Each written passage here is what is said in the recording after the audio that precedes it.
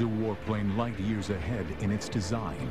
A supersonic killing machine built to become the stealth fighter of the 21st century.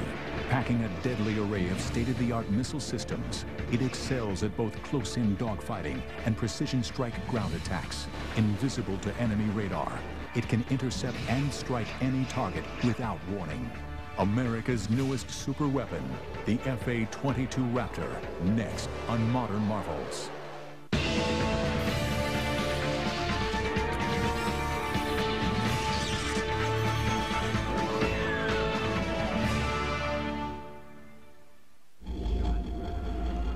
1981. In his first press conference as President of the United States, Ronald Wilson Reagan offered a deal to the Soviet leader Leonid Brezhnev. If Soviet SS-20 missiles aimed at Western Europe were removed, America would not deploy its Pershing II cruise missiles to counter the threat. Throughout the 1960s and 70s, the Soviets developed different missiles to attack in different altitude bands. You couldn't fly under the missile threat. You couldn't fly over the missile threat. You had to deal with the missile threat. One way to do that is to make suppression of enemy air defense, that is destroying the missile sites and the radars, the most important mission for the Air Force. By the 1970s, air dominance had re-emerged as a top priority and the U.S. Air Force committed to building its first pure air superiority fighter, an aircraft that would eventually become the F-15 Eagle.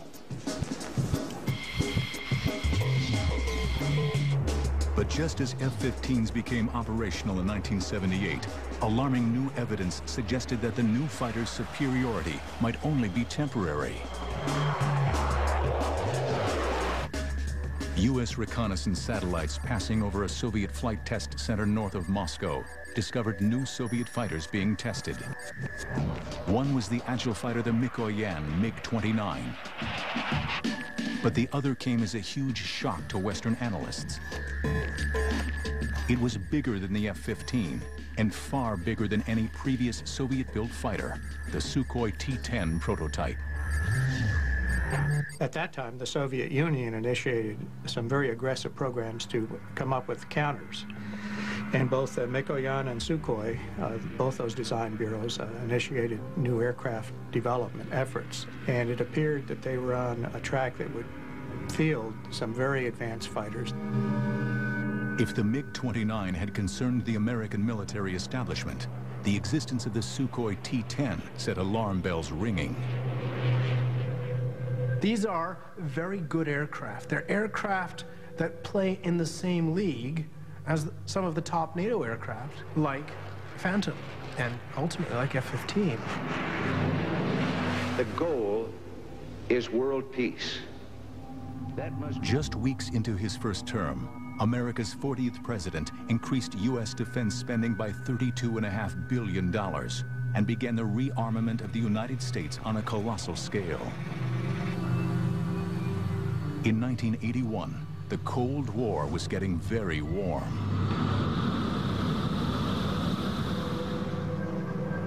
As Reagan and Brezhnev squared off, the U.S. Air Force concluded that it urgently needed a replacement for its F-15, an advanced tactical fighter, or ATF, that would have no equal as American planners start to develop the concept of air-land battle to fight World War III, the U.S. Air Force starts to think about the kind of equipment it wants to have when it comes time to fight the war.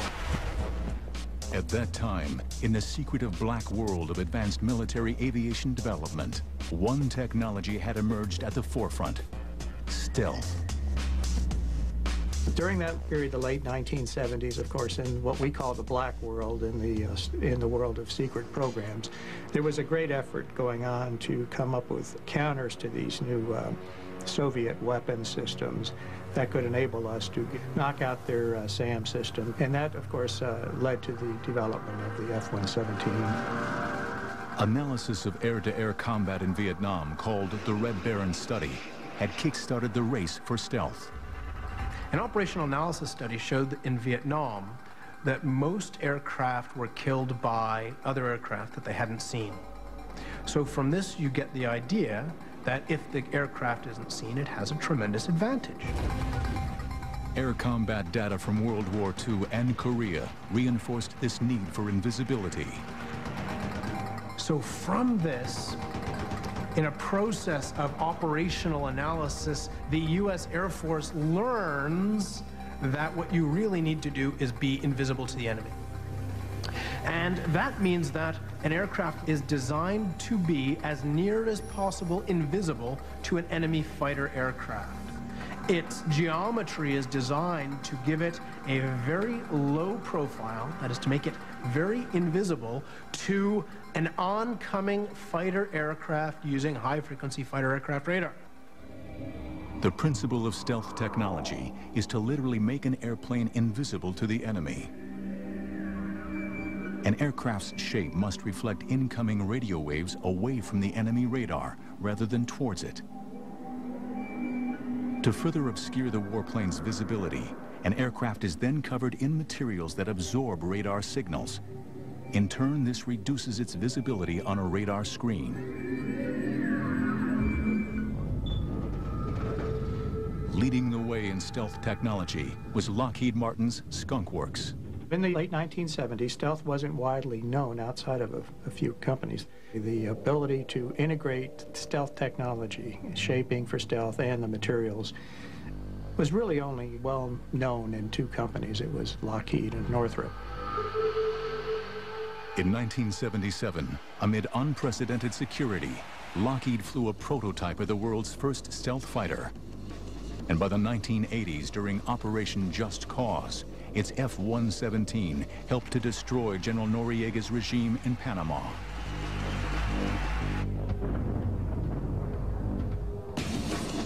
Now, the U.S. Air Force decided that any new fighter must incorporate stealth technology and identify two other areas in which a future air superiority fighter should excel.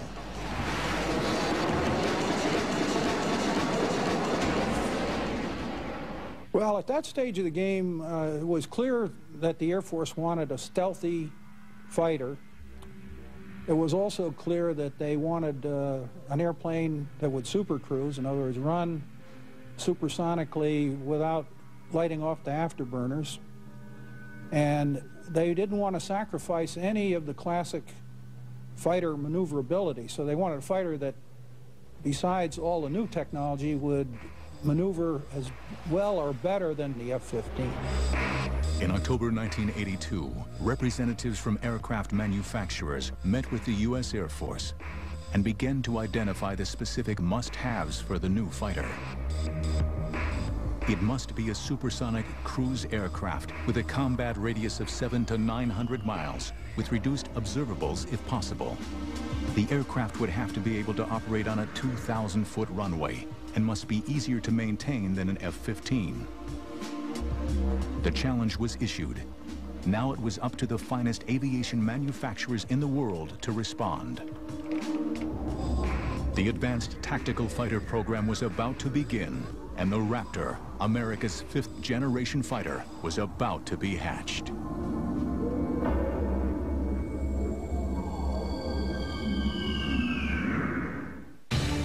The FA-22 Raptor is so stealthy, it appears the size of a bumblebee when detected by radar, even though it's more than 62 feet long with a wingspan of 44 feet.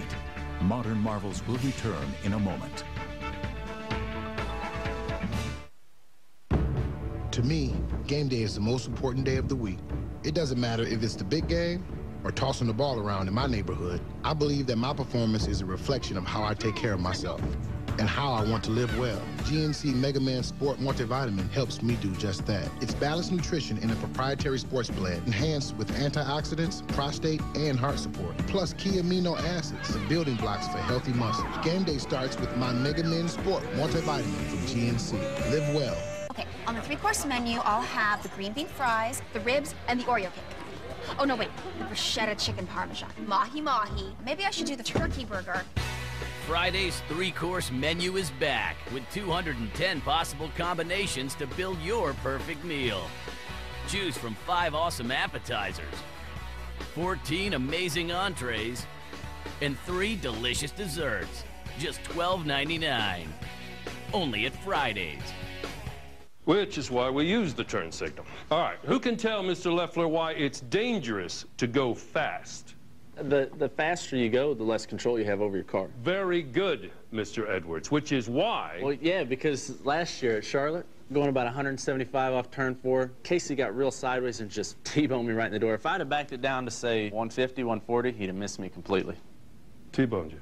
Well done. The NASCAR Busch Series on ESPN2. Season begins Saturday at Daytona.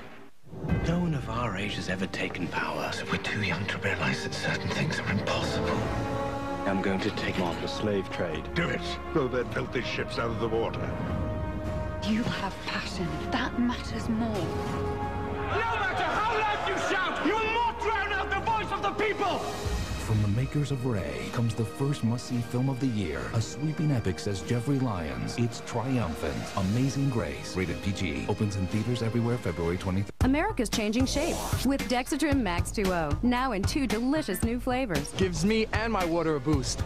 Size 8, here I come. Helps curb cravings. A healthy way to max out your weight loss. Dexatrim Max 2.0. Max out your water. Sunday, the rules will be broken. Iconic predators will fight for their lives, threatened by outsiders, their environment, and arch enemies, because even the invincible are vulnerable. On Planet Carnivore, Sunday starting at 8 on Channel 276, the National Geographic Channel. Dare to explore. Cold sores are gonna clear up. Put on a happy face. Want them gone fast? Get Herpecin L. Unlike other treatments, it helps heal lips fast, soothes skin, and protects lips. Herpecin L. Just put on a happy face. Forensic science meets history to turn myth back into man. We want people to discover the real George Washington. We are using laser technology. A groundbreaking two-year investigation ends the search for George Washington on Save Our History. Saturday night at 10 on the History Channel. Brought to you by Lowe's. Let's build something together. They were never trained for this. You don't get scared. You get scared afterwards. Their hardware wasn't built to take this kind of firepower. We could rough them up a little bit. It's going to take everything they've got. And that's when we knew that this is it. This is a fight to the finish. Death of the Japanese Navy on Dogfights. Next on the History Channel. We now return to Modern Marvels.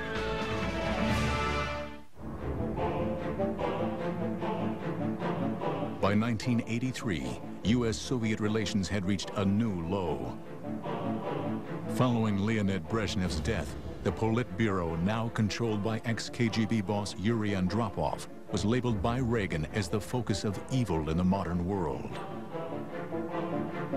Continuing his policy of rearmament, Reagan announced plans for the Strategic Defense Initiative, better known as Star Wars. Moscow reacted furiously.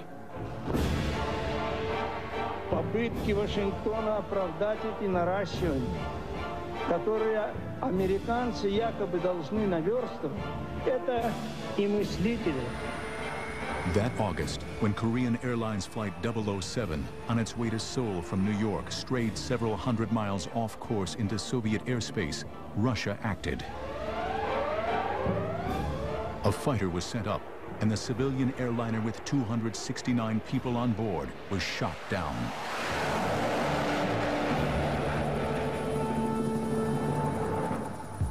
The shooting down of KAL-007 sent shockwaves around the world, straining international relations almost to a breaking point. What can we think of a regime that so broadly trumpets its vision of peace and global disarmament, and yet so callously and quickly commits a terrorist act to sacrifice the lives of innocent human beings?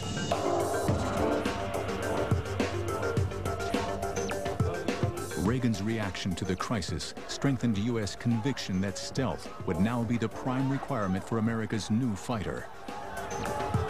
Some senior people in the Pentagon looked at the stealth requirements and decided they were inadequate, and they radically changed them. So stealth became a really major, dominant requirement in the program. In this politically charged climate, the U.S. Air Force created its Advanced Tactical Fighter, or ATF, System Program Office. Based at Wright-Patterson Air Force Base in Ohio, Colonel Albert C. Piccirillo was placed in charge of the division.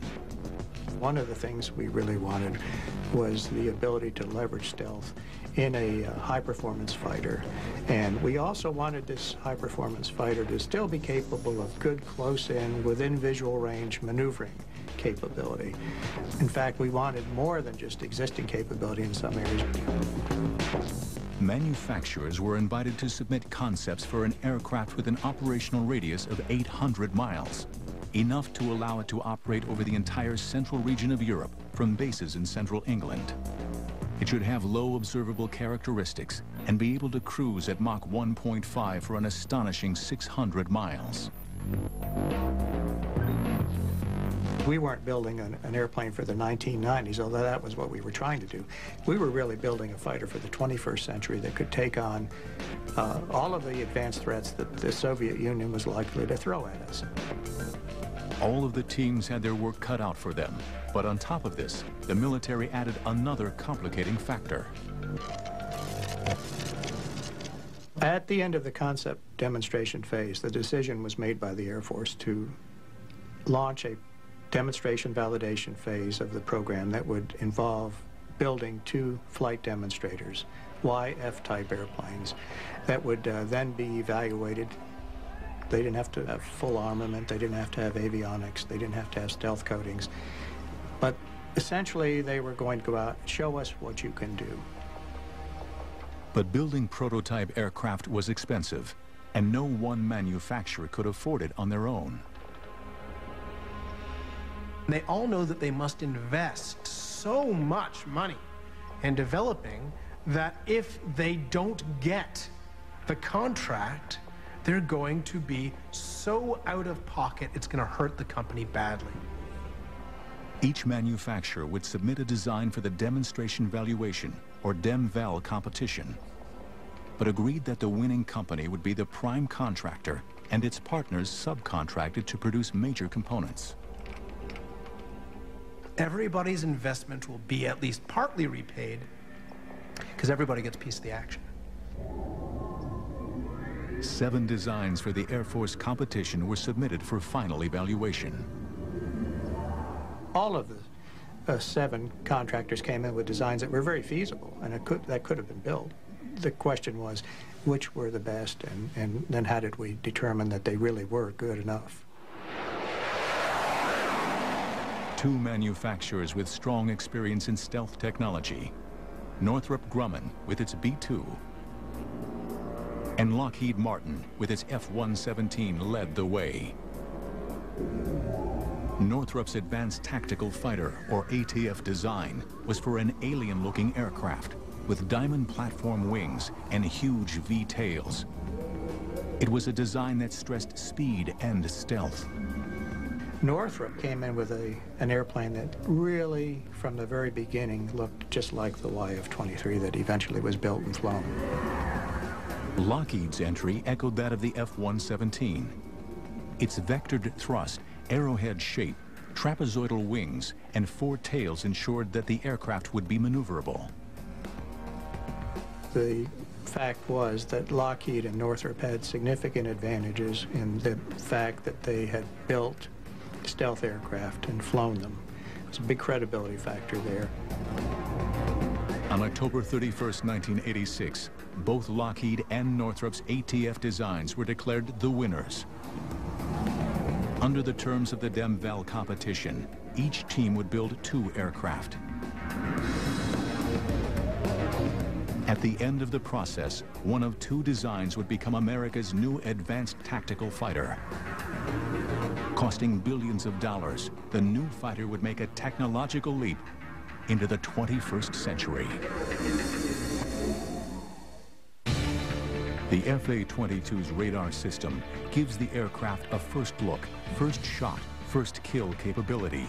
That means it can see an enemy plane first, fire a missile, and destroy the target without the pilot ever knowing. Modern Marvels will return in a moment. They were never trained for this. You don't get scared. Get... The Soviet Union, the shapes of the two rival designs were finally unveiled. And now, ladies and gentlemen, I proudly present to you the YF-22A prototype for U.S. air superiority in the 21st century.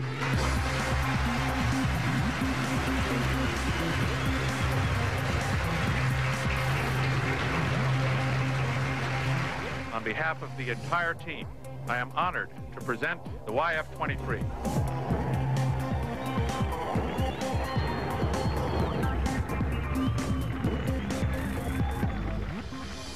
Northrop's version, called the YF-23, closely resembled its original design.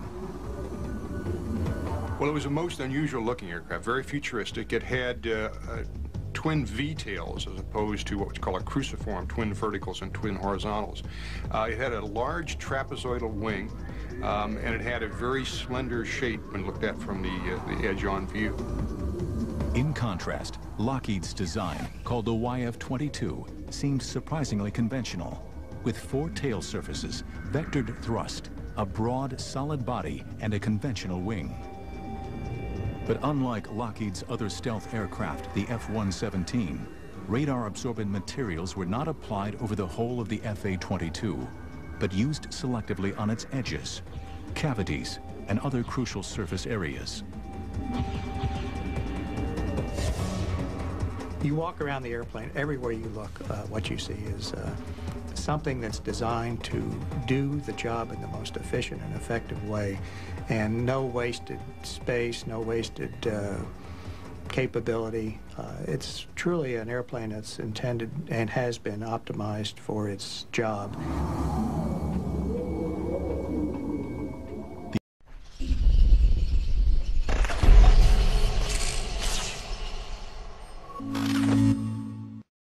The F-22 carries its weapons internally. Four weapons bays are hidden in the central mid-body section.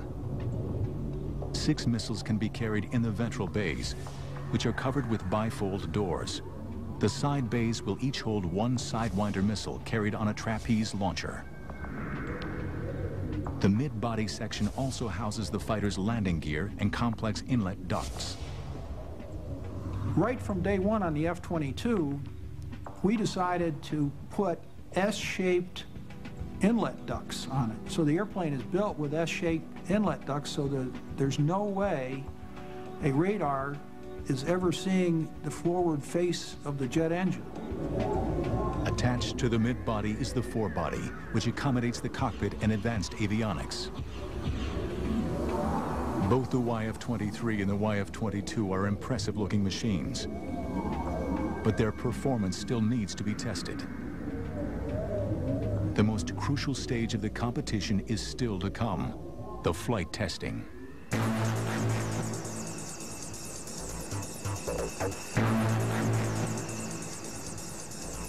Northrop was first in the air. In August 1990, the YF-23, flown by Paul Metz, went airborne.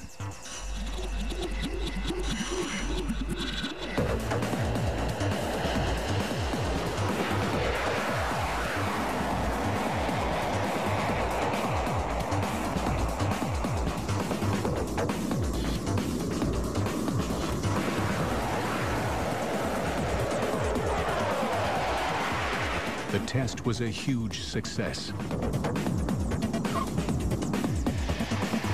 But Lockheed was quick to respond, and on September the 29th, at Edwards Air Force Base in California, Chief Test Pilot Dave Ferguson prepared the Raptor for its maiden flight.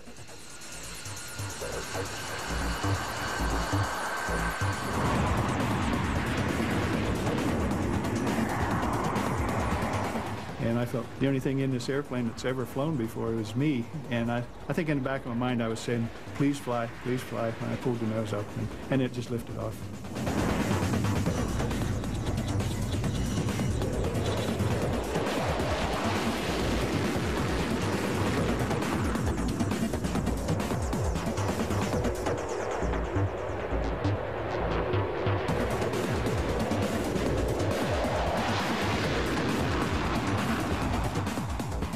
I was fully aware we had a, a wonderful flying airplane, and uh, the uh, handling qualities in the takeoff and landing, or power approach as we call it, were just absolutely superb.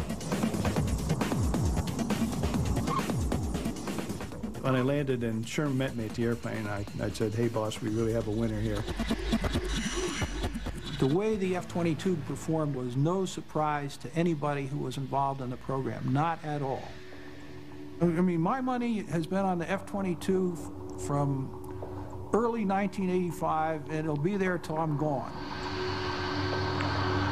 Over the next three months, the Raptor underwent a whole series of tests. The Air Force required both teams to give them performance projections.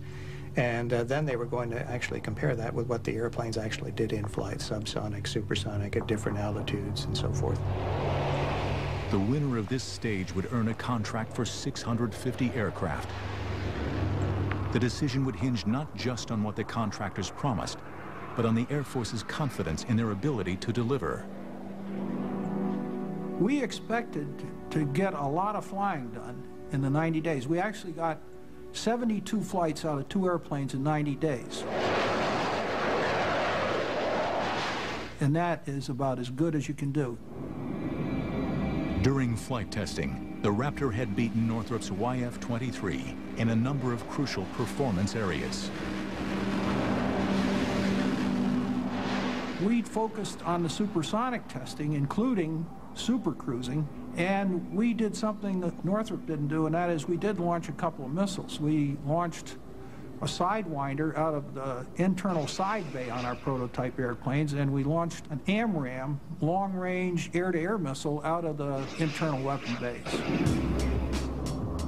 The YF-22 had clearly shown that in every category, it was far superior to any existing fighter. The Air Force was, was very impressed by what Lockheed had done. Their flight test program was very aggressive. They flew uh, hard and fast. They flew many more hours and sorties than Northrop did. And all of that gave the Air Force confidence that they knew what they were doing, high confidence, and they could build a superior airplane.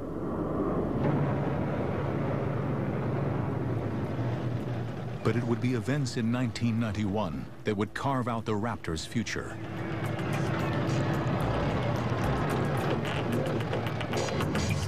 22 minutes after midnight on January 17, 1991, Lockheed's stealth F-117 spearheaded U.S. strikes against Saddam Hussein's regime.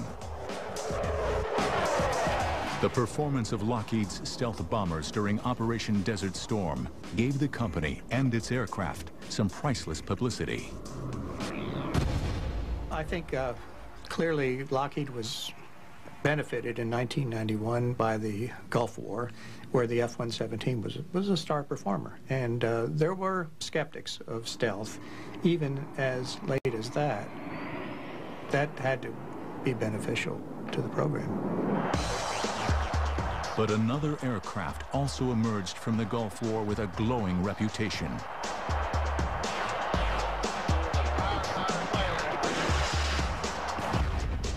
The F-15 the aircraft destined to be replaced by the ATF emphatically confirmed its status as the foremost air superiority fighter in the world.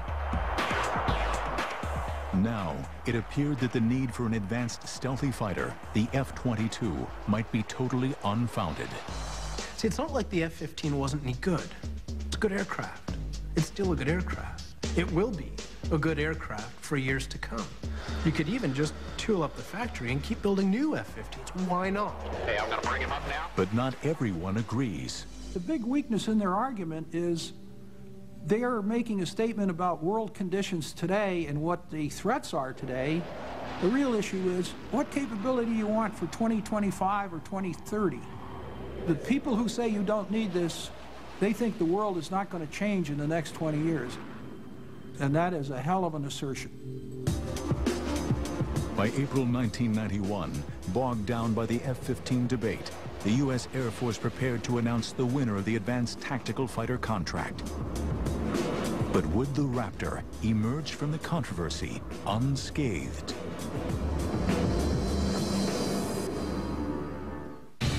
The FA-22 is the first fighter aircraft with the ability to supercruise. That means it can fly at a velocity of one and a half times the speed of sound or greater without needing to engage afterburners. Modern marvels will return in a moment. Lockheed announced that it intended to locate the F-22's headquarters in Georgia, where the Raptor's forward fuselage would be built. General Dynamics would build the F-22's mid-body section in Fort Worth, Texas, and Boeing would manufacture the wings and tail in Seattle, Washington.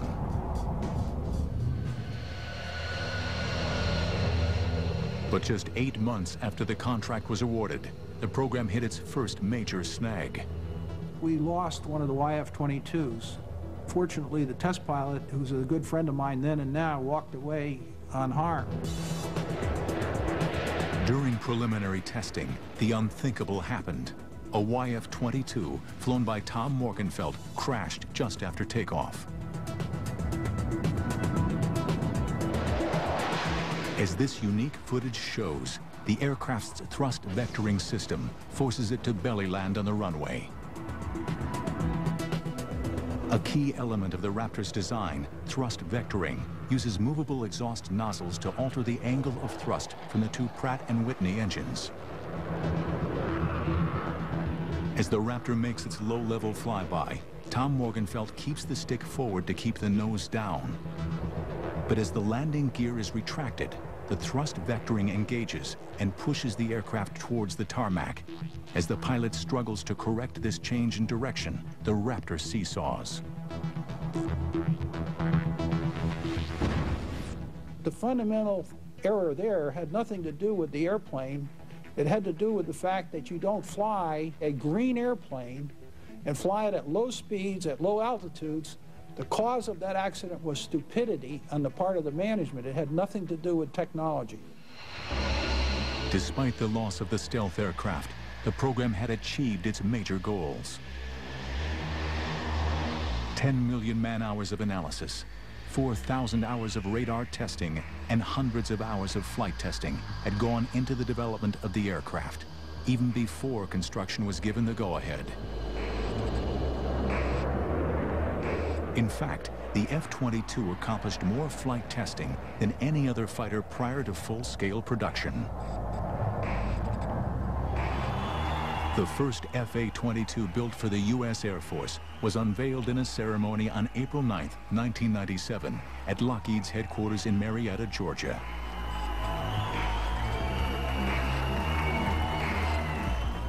Now Air Force pilots would get the opportunity to check out the new aircraft for themselves. I would call the Raptor the Miss America of all aircraft. It's got the talent, it's got the bikini contest won, it's beautiful, it's got all the capabilities. It really wins the show in every aspect. The airplane is eye-watering. It, it does everything the pilot asks of it, and it is very good at what it does. First flown by the Air Force in 1997, pilots at Edwards Air Force Base have exceeded 2,000 flight test hours in more than 900 missions.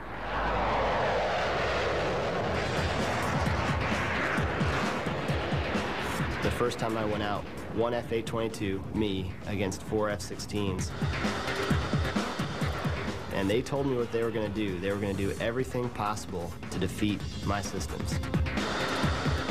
And I watched exactly what they did the entire time and shot them off.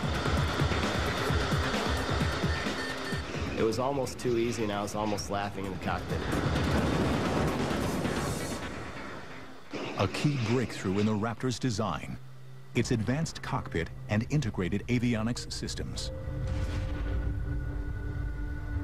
But I think really where the Raptor gets its amazing capability is the fusion of all of the different sensors on the aircraft. You have a tactical scope that combines the information of all the other sensors on the aircraft into one display for the pilot. So as a pilot, you don't have to sort through the radar or another sensor to see what's going on around you. Information is power, and the way this airplane displays information to you, it gives you knowledge of the battle space. It's all about uh, seeing what's out there in front of you and being able to make decisions about what to engage, when to engage, and how to engage it. I'd say integrated avionics does two things for me. Number one, it makes me a lot safer. Uh, it gives me less chance to crash my jet. It also makes every pilot who flies this aircraft more deadly. Uh, instead of having to do six or eight steps to achieve a kill, you really only have to do one. The Raptor carries a formidable array of ordnance. All of the Raptor's weapons are housed inside the aircraft. Two bays at the bottom of the plane use a pneumatic-style hydraulic launcher that literally punch the missiles or JDAMs out of the aircraft with a force of 40 Gs. And two side bays house air-to-air -air missiles. Here, a trapeze launcher moves the missile outside the airframe very rapidly, a fraction of a second before the missile is fired. And to complement the Raptor's armament of eight missiles, the fighter also has a gun. At one point in the evolution of the Advanced Tactical Fighter program, the U.S. Air Force had raised the question of eliminating the gun to save weight.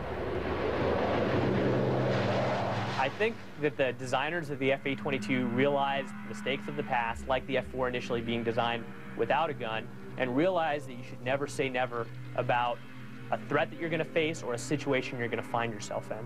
And so the Raptor has designed itself a gun.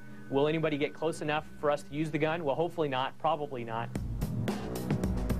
By the late 90s, pilots in the Raptor program were convinced that their aircraft was made of the right stuff and would easily be able to outperform and destroy any other fighter in existence.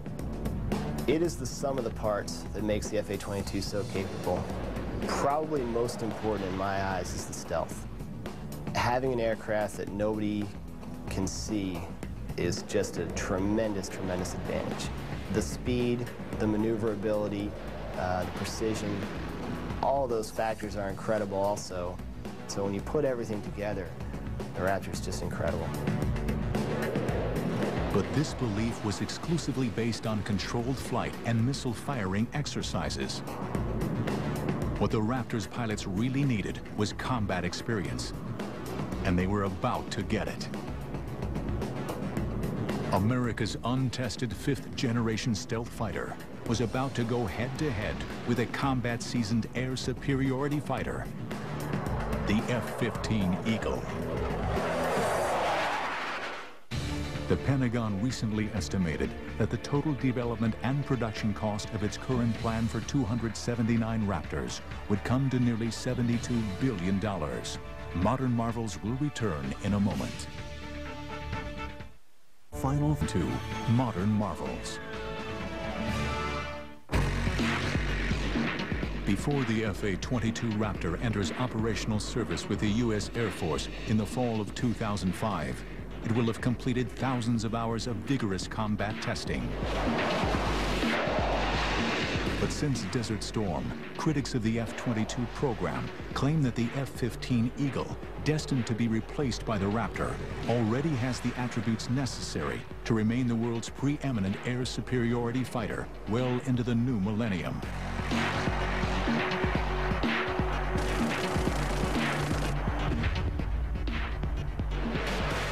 Is a view dismissed by the U.S. Air Force.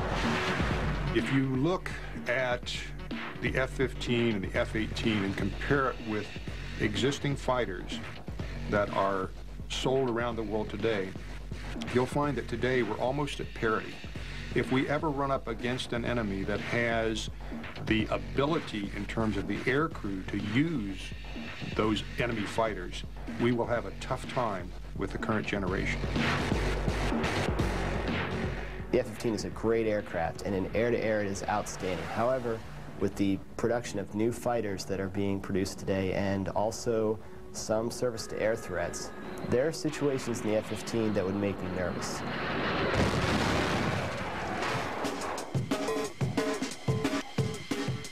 In March 2003, supporters of the F-15 got the opportunity to see whether or not the Eagle was still the best fighter in the sky.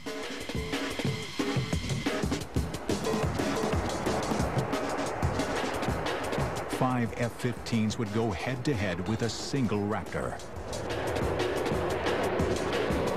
Although no missiles would be used during the exercise, the sorties would closely resemble actual combat. No mercy would be given by either side.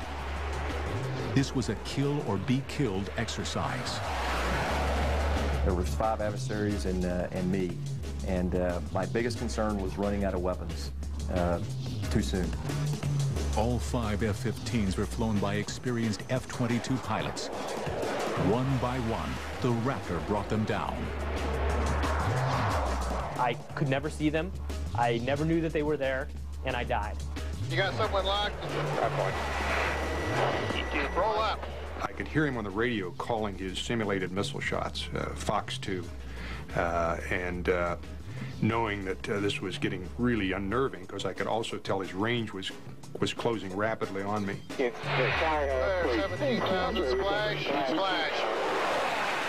I don't think anybody ever saw me the entire time that uh, while we were out in the airspace. Bandit, bandit, Fox. Fox. Could not find him no matter what I did, and the next time was when he flew directly over the top of my airplane. I saw him visually. Well, N3, I know firsthand from flying the Raptor against other aircraft and flying other aircraft against the Raptor that it's like clubbing baby seals. It's so easy. The first indication you have that an FA-22 is out in your uh, area of responsibility is when you are in your parachute uh, heading down towards Earth and your, your jet is falling a little bit faster than you are. In combat testing with F-15s, the F-A-22 Raptor had emphatically proven its doubters wrong. There have been times when the Raptor has gone up two versus eight against F-15s, and it ends up being boring for the adversaries because no matter what they do, they die. Having flown the F-15 and now having flown the Raptor and seen combat, I would not want to be on the receiving end of what the FA-22 is capable of. We will take on anything, any combination of the latest, uh, the latest aircraft that we can throw at ourselves, and we usually win.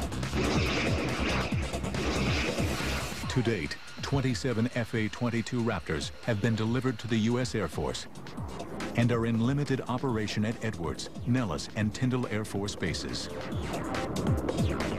Many more will follow. The Air Force has agreed to a final production run of almost 300 aircraft.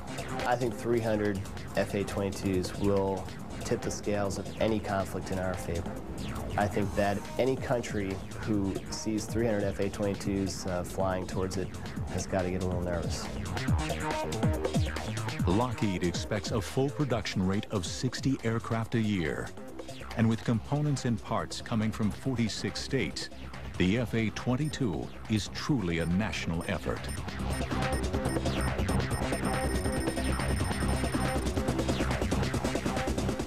Costing a massive $93 million each, the Raptor is certainly the world's most expensive fighter aircraft.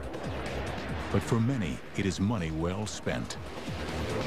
Yeah, this is something special. This is not like an F-15 on steroids or an F-16 on steroids. This is the real thing with a leap of technology that's orders of magnitude better than what we have now.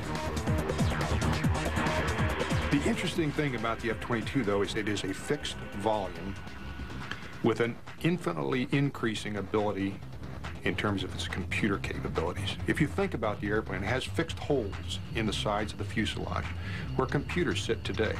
In the future, there will be more computer capacity that requires less power going in that same physical hole. So the F-A-22, over the course of its life, will only become a more and more flexible and more and more potent machine as computer capacity increases. America's FA-22 Raptor was created out of the Cold War fear that Russian-made fighters would sweep aside the F-15. But the world has changed since the frigid days of the Cold War. The Soviet Union no longer exists. And the F-15 has more than earned the fear and respect it commands as the current frontline fighter for the U.S. Air Force. But the Raptor, Lockheed's FA-22, looks set to carry U.S. Air Force doctrine well into the 21st century. I'd be terrified to uh, to go into the arena with something like that. I really would. I've been on the receiving end of it in testing and uh, and mentally translated myself to what if this was combat, and it is a unnerving and a, a disquieting feeling to fly in the same airspace with one of these airplanes. I would say that it's not fair to our enemies or even our own technology to fight against the Raptor, but the goal of war isn't fair, that we don't go into combat because we want a fair fight. We want to win as fast as possible with as little loss of life as possible. And the Raptor allows that to do that for generations to come. In today's changing world, there are few certainties. But the rule of the Raptor, America's air dominance fighter over the skies, is one of them.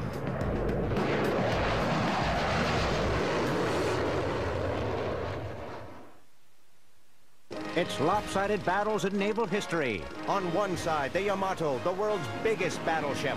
On the other side, America's Taffy 3. Um, not the world's biggest battleship. But don't place your bets yet, because the outcome is quite unexpected. Death of the Japanese Navy on dogfights. Next, on the History Channel.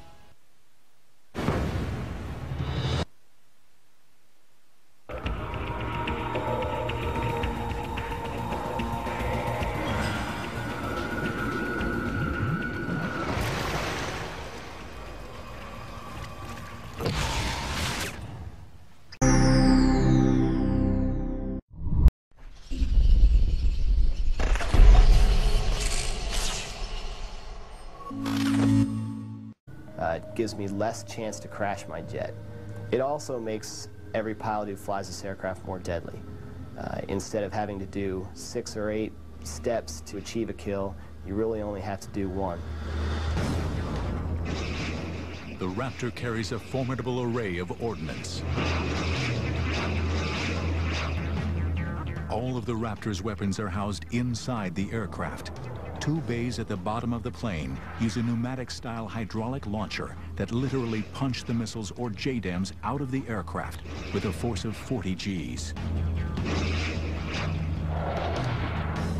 And two side bays house air-to-air missiles. Here, a trapeze launcher moves the missile outside the airframe very rapidly, a fraction of a second before the missile is fired.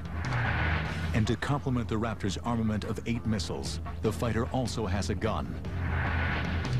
At one point in the evolution of the Advanced Tactical Fighter program, the U.S. Air Force had raised the question of eliminating the gun to save weight. I think that the designers of the F-A-22 realized mistakes of the past, like the F-4 initially being designed without a gun, and realized that you should never say never about a threat that you're going to face or a situation you're going to find yourself in. And so the Raptor has designed itself a gun. Will anybody get close enough for us to use the gun? Well, hopefully not, probably not. By the late 90s, pilots in the Raptor program were convinced that their aircraft was made of the right stuff and would easily be able to outperform and destroy any other fighter in existence. It is the sum of the parts that makes the FA-22 so capable. Probably most important in my eyes is the stealth. Having an aircraft that nobody can see is just a tremendous, tremendous advantage. The speed, the maneuverability, uh, the precision, all those factors are incredible also. So when you put everything together, the Raptor's just incredible. But this belief was exclusively based on controlled flight and missile firing exercises. What the Raptor's pilots really needed was combat experience, and they were about to get it. America's untested fifth-generation stealth fighter was about to go head-to-head with a combat-seasoned air superiority fighter, the F-15 Eagle. The Pentagon recently estimated that the total development and production cost of its current plan for 279 Raptors would come to nearly $72 billion. Modern Marvels will return in a moment. Final 2, Modern Marvels.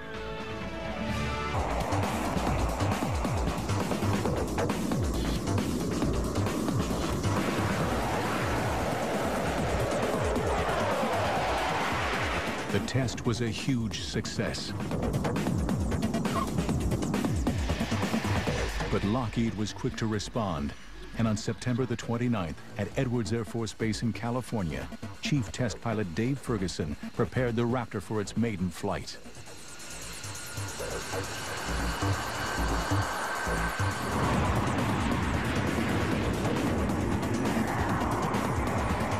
And I felt the only thing in this airplane that's ever flown before was me. And I, I think in the back of my mind I was saying, please fly, please fly, when I pulled the nose up. And, and it just lifted off.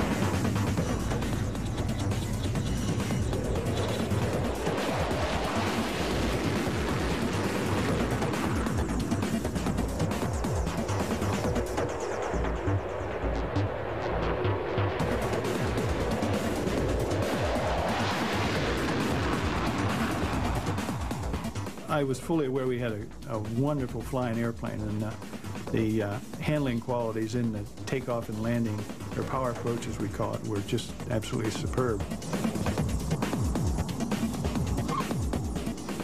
When I landed and Sherm met me at the airplane, I, I said, hey boss, we really have a winner here. The way the F-22 performed was no surprise to anybody who was involved in the program, not at all. I mean, my money has been on the F-22 from early 1985, and it'll be there till I'm gone. Over the next three months, the Raptor underwent a whole series of tests. The Air Force required both teams to give them performance projections. And uh, then they were going to actually compare that with what the airplanes actually did in flight, subsonic, supersonic, at different altitudes, and so forth. The winner of this stage would earn a contract for 650 aircraft. The decision would hinge not just on what the contractors promised, but on the Air Force's confidence in their ability to deliver. We expected to get a lot of flying done in the 90 days. We actually got 72 flights out of two airplanes in 90 days. And that is about as good as you can do. During flight testing, the Raptor had beaten Northrop's YF-23 in a number of crucial performance areas. We focused on the supersonic testing, including supercruising, and we did something that Northrop didn't do, and that is we did launch a couple of missiles. We launched a Sidewinder out of the internal sink. The world is not going to change in the next 20 years, and that is a hell of an assertion. By April 1991, bogged down by the F-15 debate, the U.S. Air Force prepared to announce the winner of the Advanced Tactical Fighter contract. But would the Raptor emerge from the controversy unscathed?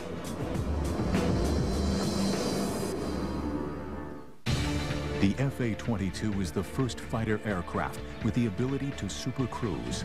That means it can fly at a velocity of one and a half times the speed of sound or greater without needing to engage afterburners. Modern marvels will return in a moment. Lockheed announced that it intended to locate the F-22's headquarters in Georgia, where the Raptor's forward fuselage would be built. General Dynamics would build the F-22's mid-body section in Fort Worth, Texas, and Boeing would manufacture the wings and tail in Seattle, Washington.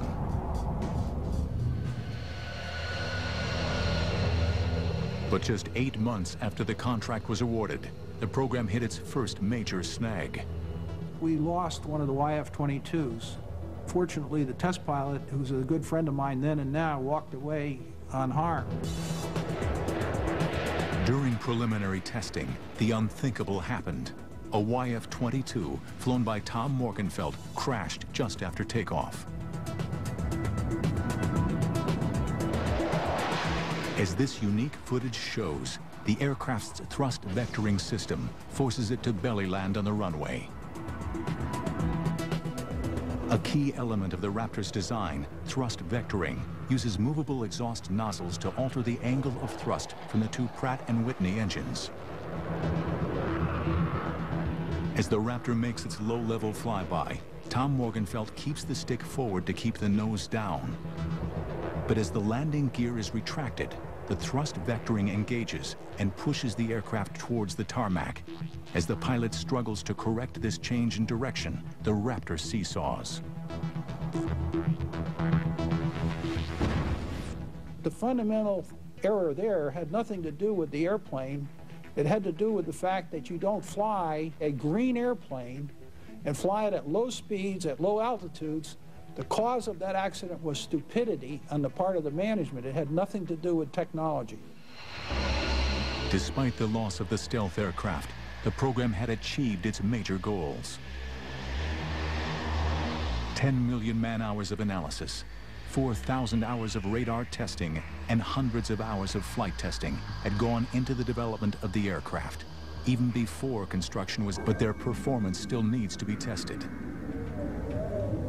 The most crucial stage of the competition is still to come, the flight testing.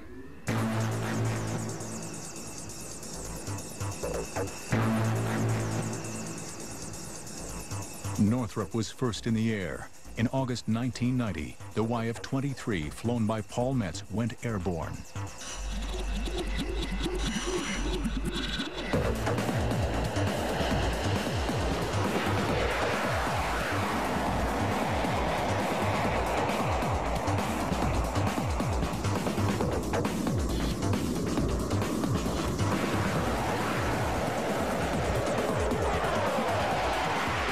The test was a huge success. But Lockheed was quick to respond. And on September the 29th, at Edwards Air Force Base in California, Chief Test Pilot Dave Ferguson prepared the Raptor for its maiden flight.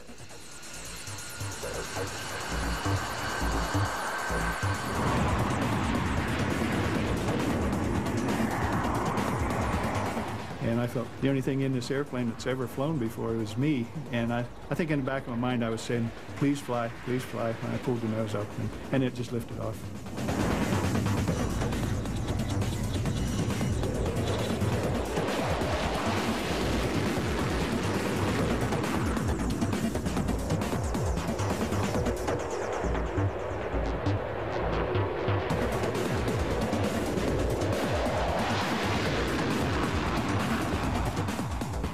I was fully aware we had a, a wonderful flying airplane and uh, the uh, handling qualities in the takeoff and landing, or power approach as we call it, were just absolutely superb.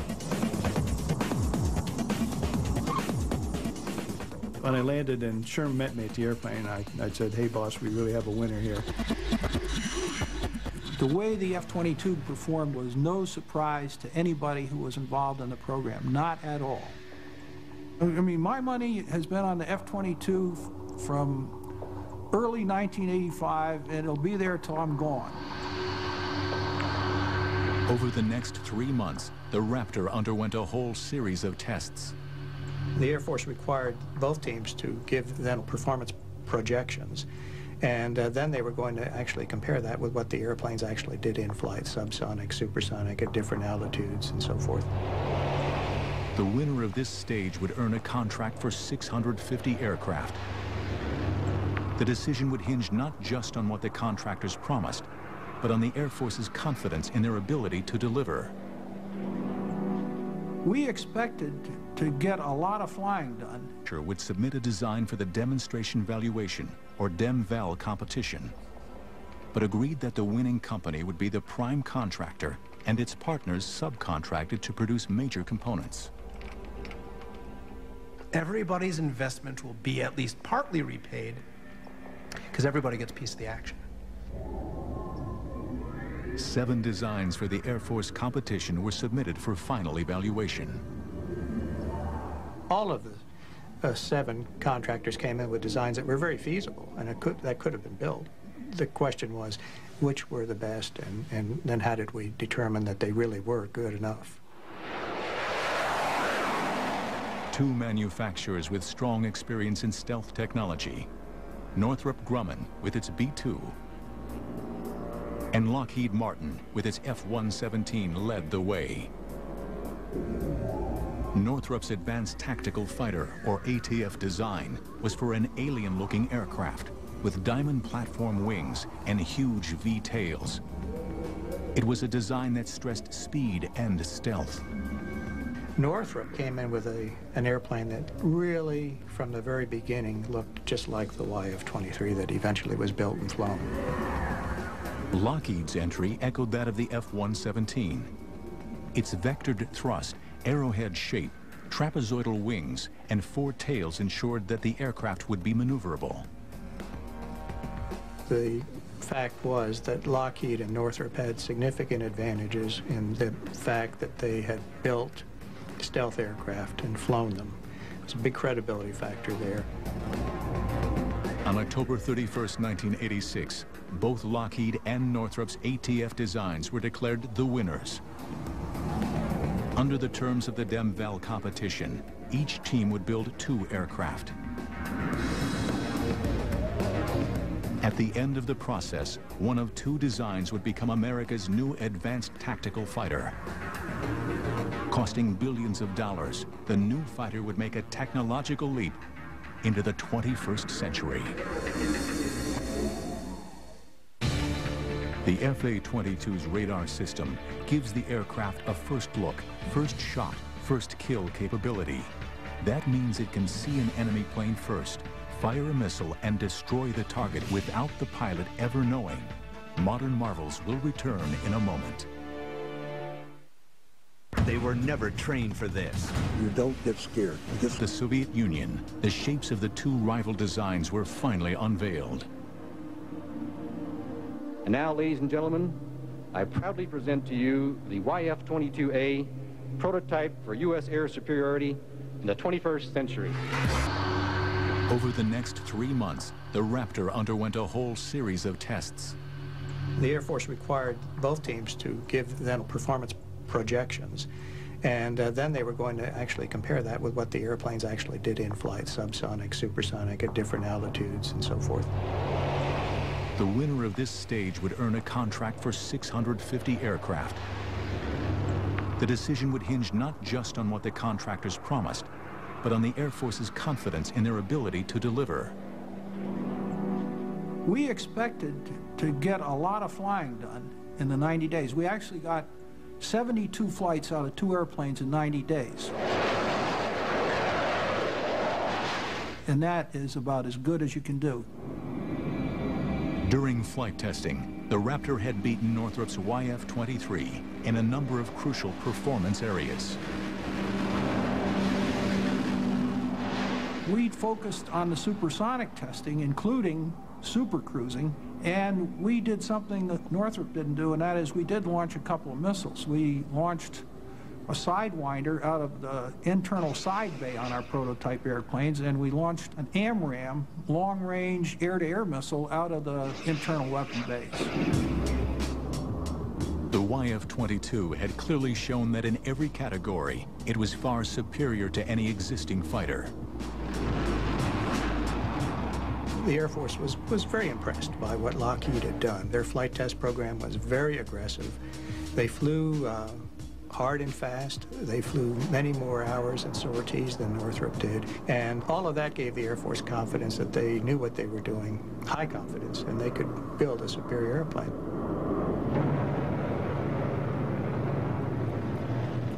But it would be events in 1991 that would carve out the Raptor's future.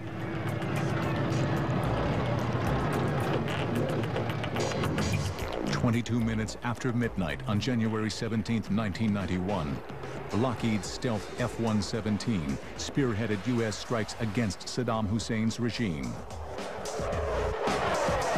The performance of Lockheed's stealth bombers during Operation Desert Storm gave the company and its aircraft some priceless publicity. I think uh, clearly Lockheed was benefited in 1991 by the Gulf War, where the F-117 was, was a star performer. And uh, there were skeptics of stealth, even as late as that. That had to be beneficial to the program. But another aircraft also emerged from the Gulf War with a glowing reputation.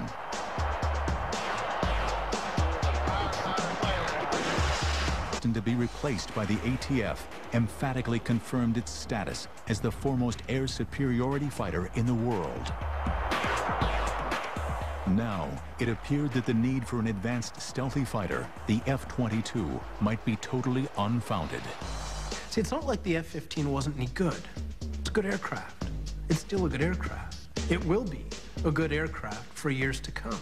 You could even just tool up the factory and keep building new F-15s. Why not? Hey, I'm gonna bring him up now. But not everyone agrees. The big weakness in their argument is they are making a statement about world conditions today and what the threats are today. The real issue is what capability you want for 2025 or 2030. The people who say you don't need this, they think the world is not going to change in the next 20 years. And that is a hell of an assertion. By April 1991, bogged down by the F-15 debate, the U.S. Air Force prepared to announce the winner of the Advanced Tactical Fighter contract. But would the Raptor emerge from the controversy unscathed?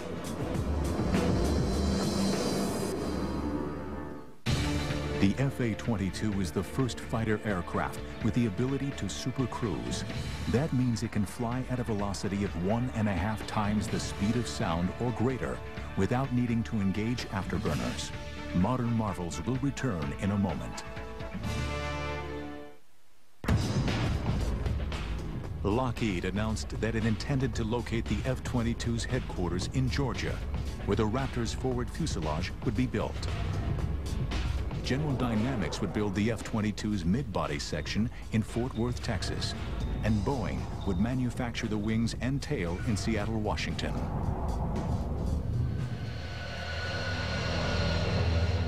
But just eight months after the contract was awarded, the program hit its first major snag. We lost one of the YF-22s. Fortunately, the test pilot, who's a good friend of mine then and now, walked away unharmed. During preliminary testing, the unthinkable happened. A YF-22, flown by Tom Morgenfeld, crashed just after takeoff. As this unique footage shows, the aircraft's thrust vectoring system forces it to belly land on the runway. A key element of the Raptor's design, thrust vectoring, uses movable exhaust nozzles to alter the angle of thrust from the two Pratt & Whitney engines. As the Raptor makes its low-level flyby, Tom Morgenfeld keeps the stick forward to keep the nose down. But as the landing gear is retracted, the thrust vectoring and technology would maneuver as well or better than the F-15. In October 1982, representatives from aircraft manufacturers met with the U.S. Air Force and began to identify the specific must-haves for the new fighter. It must be a supersonic cruise aircraft with a combat radius of 7 to 900 miles, with reduced observables if possible. The aircraft would have to be able to operate on a 2,000-foot runway and must be easier to maintain than an F-15. The challenge was issued. Now it was up to the finest aviation manufacturers in the world to respond. The Advanced Tactical Fighter program was about to begin, and the Raptor, America's fifth-generation fighter, was about to be hatched.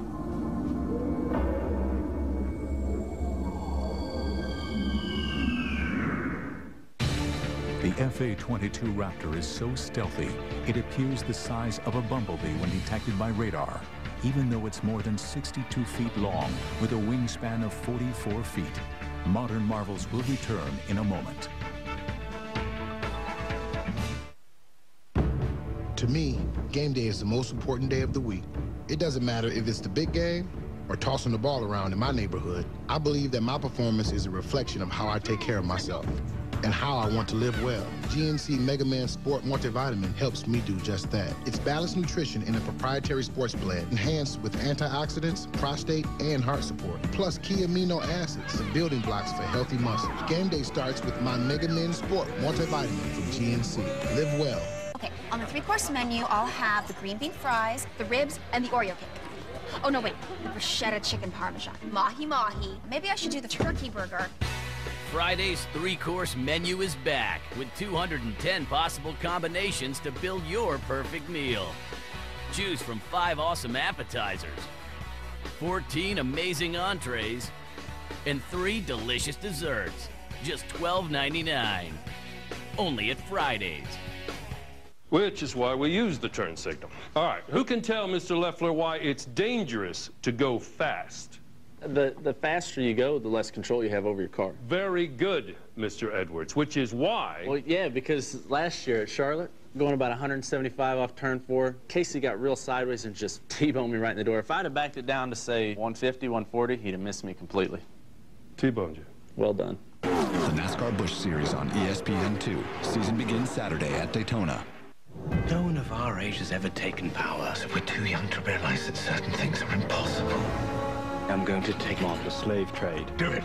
Throw their filthy ships out of the water. You have passion. That matters.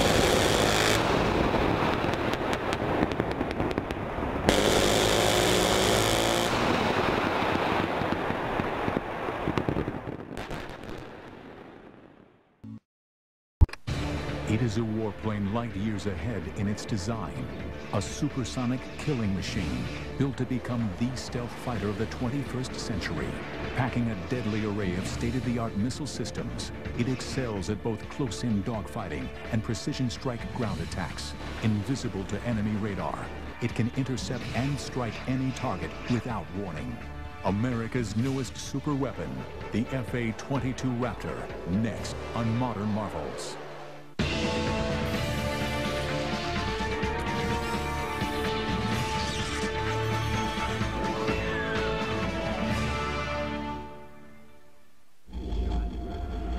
1981. In his first press conference as President of the United States, Ronald Wilson Reagan offered a deal to the Soviet leader Leonid Brezhnev. If Soviet SS-20 missiles aimed at Western Europe were removed, America would not deploy its Pershing II cruise missiles to counter the threat.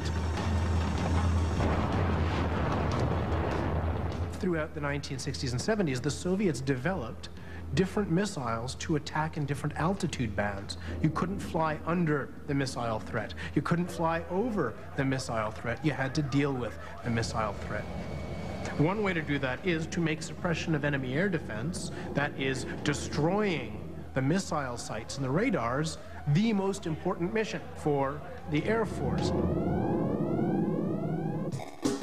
By the 1970s, air dominance had re-emerged as a top priority and the U.S. Air Force committed to building its first pure air superiority fighter, an aircraft that would eventually become the F-15 Eagle. But just as F-15s became operational in 1978, alarming new evidence suggested that the new fighter's superiority might only be temporary. U.S. reconnaissance satellites passing over a Soviet flight test center north of Moscow discovered new Soviet fighters being tested. One was the agile fighter the Mikoyan MiG-29. But the other came as a huge shock to Western analysts. It was bigger than the F-15 and far bigger than any previous Soviet-built fighter, the Sukhoi T-10 prototype. At that time, the Soviet Union initiated some very aggressive programs to come up with counters. And both uh, Mikoyan and Sukhoi, uh, both those design bureaus, uh, initiated new... Of course, into Soviet airspace, Russia acted. A fighter was sent up, and the civilian airliner with 269 people on board was shot down.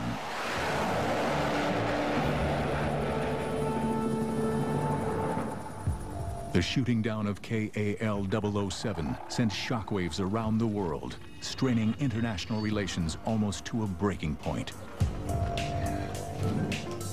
What can we think of a regime that so broadly trumpets its vision of peace and global disarmament, and yet so callously and quickly commits a terrorist act to sacrifice the lives of innocent human beings?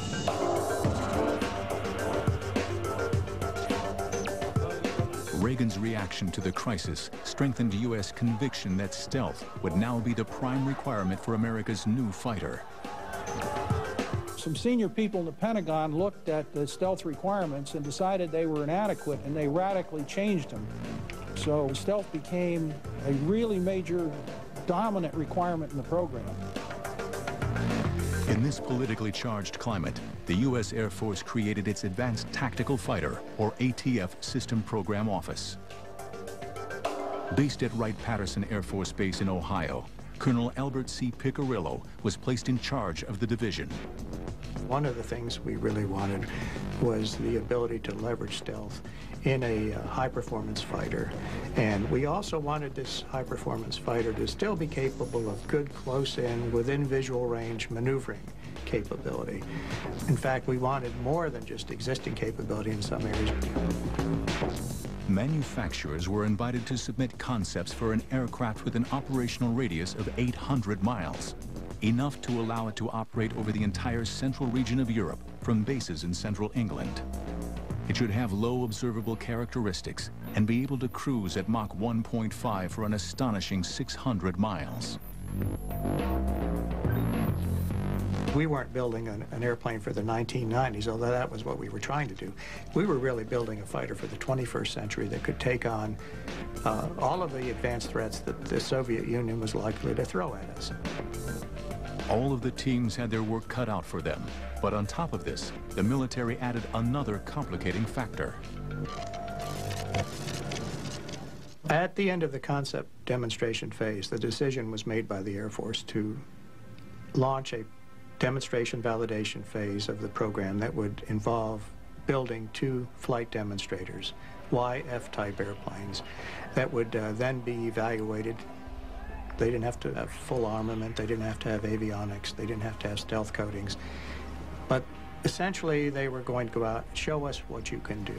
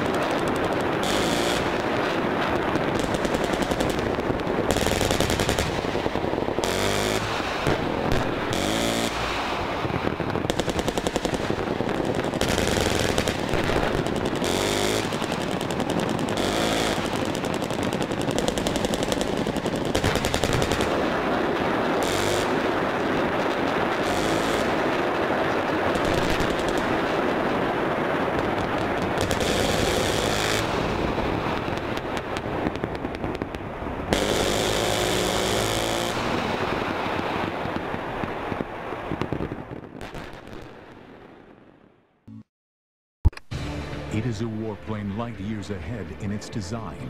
A supersonic killing machine built to become the stealth fighter of the 21st century. Packing a deadly array of state-of-the-art missile systems, it excels at both close-in dogfighting and precision strike ground attacks. Invisible to enemy radar, it can intercept and strike any target without warning. America's newest super weapon, the FA-22 Raptor, next on Modern Marvels.